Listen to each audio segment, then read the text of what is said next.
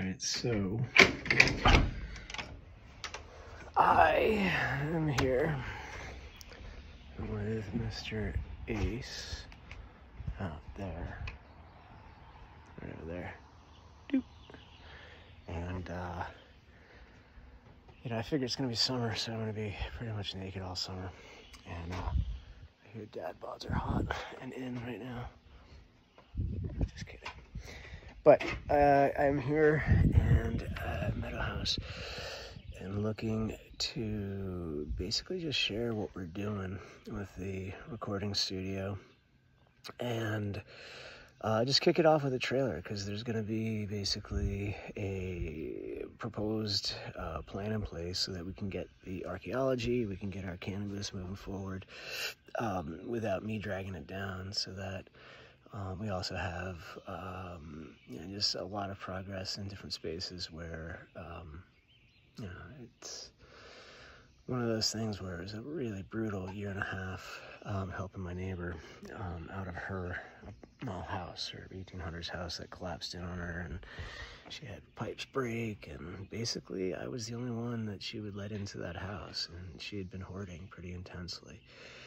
Um, and I didn't really share this publicly, uh, but it really dragged me down mentally in a massive way. Um, and it led to a creative piece coming out of that, which is my first horror film, or well, book, however you want to write it. Um, you know, it's going to be a piece. I don't actually. Maybe it's just like a sort of a um, a neural net plugin that can create um, uh, scenes of terror for one's uh, experiential delight at times when they're seeking that media.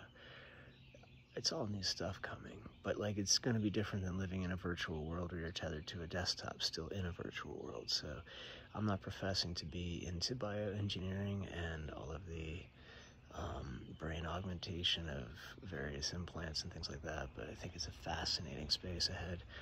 Uh, and creatively, with the confluence of AI, I want to know more about it. But um, as I'm hanging here in the Hunger Ravines, and we got all kinds of folks stopping by, and we're basically um, moving things forward uh, on the archaeology front. So, in the process of doing that, we're going to be able to record it and video capture all of these unveilings. So if you look over there, I know I can't zoom in from this this reversed view, but um, you know, the, the goal is for us to really start to understand and tell that story as it relates to all of uh, the Americas.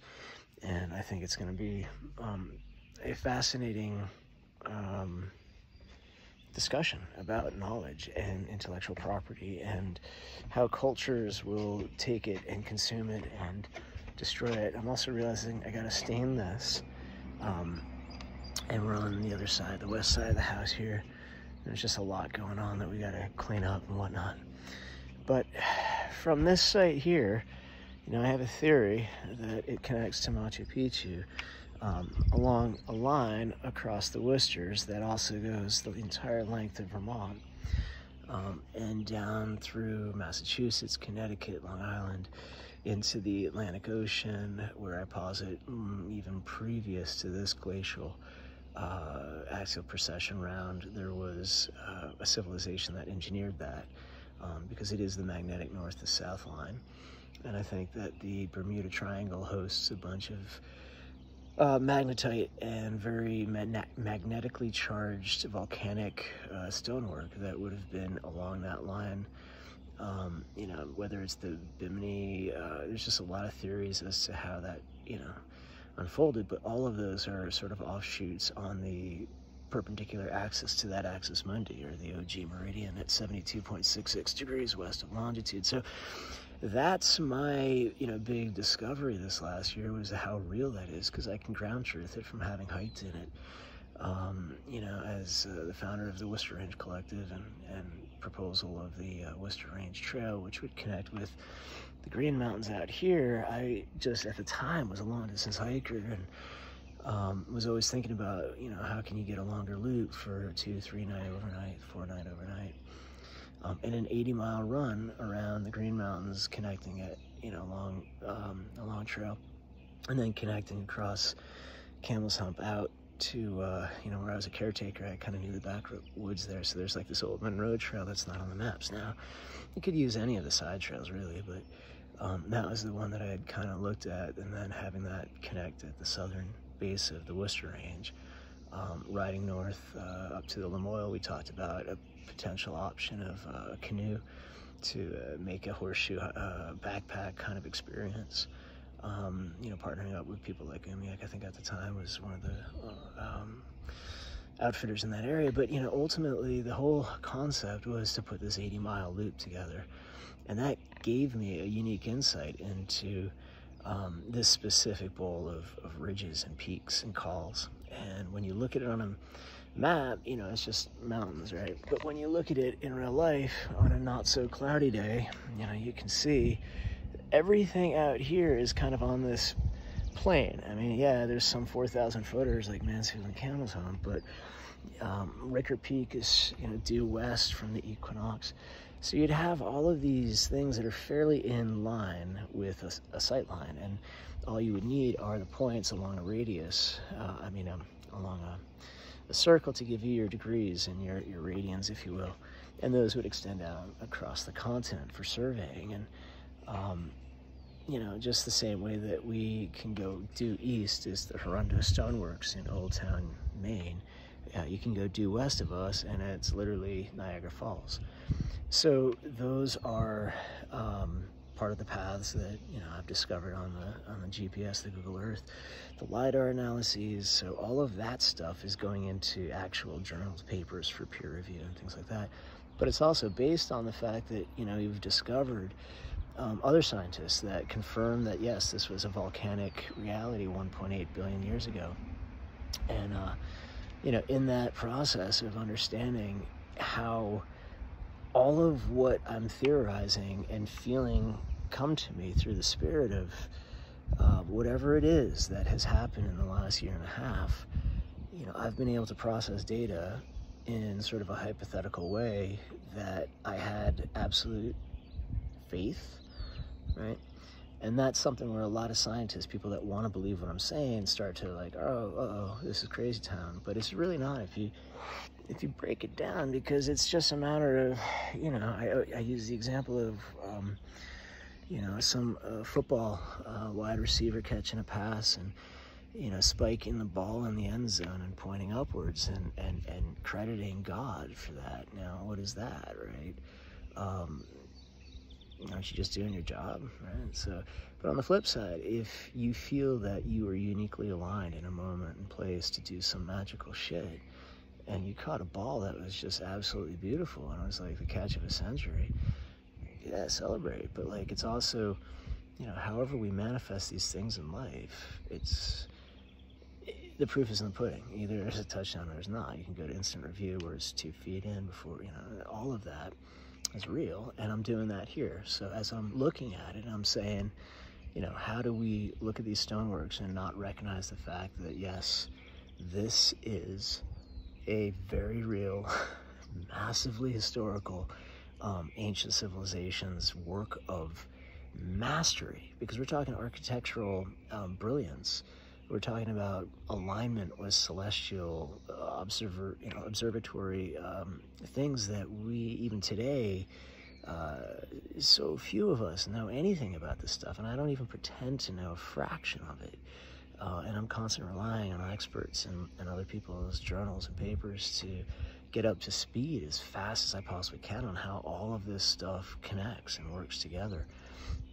And it does brilliantly. And when you then throw in the arts of stonemasonry and carving and uh, design, and it's just what I'm finding is absolutely uniquely stunning. Um, to think about how massive this work would have been. So, um, this is effectively a trailer just to kind of introduce myself and the project, um, to share some of the, the links that are going on, the thesis behind how it came to pass. Um, I stumbled into it. I live here at Meadow House. I've lived here for three decades. These rocks always meant something to me. I felt called here for sure. Uh, I couldn't process necessarily how, where, why. Um, I come to Waterbury Center twice before I found this place. Well, once before I found this place, and then I rented this place for many, many, years before buying it. Um, and in the process of buying it, really was emphatic on trying to protect this specific segment. I didn't necessarily know any of this. What I did know was the water, and I was working that protection with some conservation easements with my neighbors, and we did that in, in collaboration. And you know, I think we're on good standing. Um, there was another piece of it with a spring that I thought was defunct that was on the map, and in the deed, um, I had exercised legally uh, what was effectively, um, um, you know, taking the property. Uh, because it's an inholding. It's a tiny, tiny inholding of a spring. But it turns out there's a concrete well on my property, which is a well container that holds a spring. So there's technically not a well pump because that's not allowed in the in the deed. It's just whatever's there is allowed to pass through. Now the question then becomes, well, if that's the case, why is it that they're trying to bring me into violations of wetlands kinds of things and, and drumming up a lot of like attacks, you know, and ways to delay and obfuscate just because somebody else tried to take a wetlands designation to our north of a class two and shift it down. Some birds are going crazy over here. Let's go see what that's about. Could be a brand new nest or something. Hey! I think, ah, crow. Crow is going after the babies. Oh, nature can be so hard. Is that raven or is that a crow? Dog, you see that? All right, well, I'll have to go back to the videotape and see if we got that. That was crazy. There's like five birds flying after that one crow. Anywho, um, segment ravines, wow. So yeah, I mean, that's what this is about. We're gonna be video, law, you know, just documenting the crap out of stuff. And as stuff evolves and happens, we'll probably have some fun times, parties, invite people out. Um, you can see benefits that way. You can get into the, the spirit, as it were, um, any which way you like. But the idea is really to create, you know, a trailer now and just see how many people really would find this interesting. Because I could show you this stuff all day long and try to explain stuff to you through social media posts, but ultimately, um, you know, I think we get to that space where if we're going to do this, let's let's accept the fact that it is as massive as it is. Let's accept the fact that it creates a longitude and latitude system for the entirety of the Americas. Like, how freaking cool is that? I feel like we're starting from a space where there's so many people afraid to say, history can't be changed because we're so important as our white you know, no, it's like there's really important stuff happening here. And I'm not going to suppress it. I'm not going to cancel culture it. And I'm not going to be part of a thing that once did that. This is real. You know, I can prove it in science. I've had Fortune 100 clients that if I got the statistical confidence on any one of the projects I ran for them internationally, I would be beyond ecstatic on every level possible that my work was so defensively sound that I wouldn't have to do any freaking work. And there's only been one project where I've literally had to just scrawl some things top of my head because it was so overwhelmingly obvious in the data that I didn't even worry about the fact that, like, you know, and then, yeah, the report followed and everybody was wicked happy. But, like, you know, the thing is, it's like when you see the pattern and you see the analysis and you see what it means for the big, big picture, there's nothing that needs to be in the minutia. It's just it hits and it resonates. And for me, that's this. And I've never had something um, speak to me as loudly, scientifically, um, as this you know and so that is why i'm making it everything. But i need to make sure that all my partners in the cannabis space all the work we've done to get licensed and have our brand uh, put through to some SKUs and you know there's it's a really hard landscape. So i'm not going to be able to advertise uh, to drive business uh, through product and placement of pictures right? But like if people want to come here and sample a pre-roll that's fine you know and that's like one thing that we can do is this designed to circumvent rules or just be a marketing tactic fuck no but if we're doing this for the honesty of trying to document something, right? You know, that's what we've been at for a while now. And um, I say we, dog and I. He's over there barking. And uh, yeah, I do think that the recording studio needs to present a product. Um, and that product is going to be something that hopefully we can get people to you know, pay 20 bucks for, or like maybe it's uh, somebody wants to kick in 150 and then they get a night to stay at Meadow House or something. You know, we could do different things like that down the road. I don't know where it, where it starts now, um, but you know, because we're gonna have a recording studio functioning where we're gonna need you know the space for bands to set up, but for me, I think it's gonna have to be a little bit more out of the gates focused on creating this this experience and some kind of media presentation, maybe webisodes, something that feels engaging to people.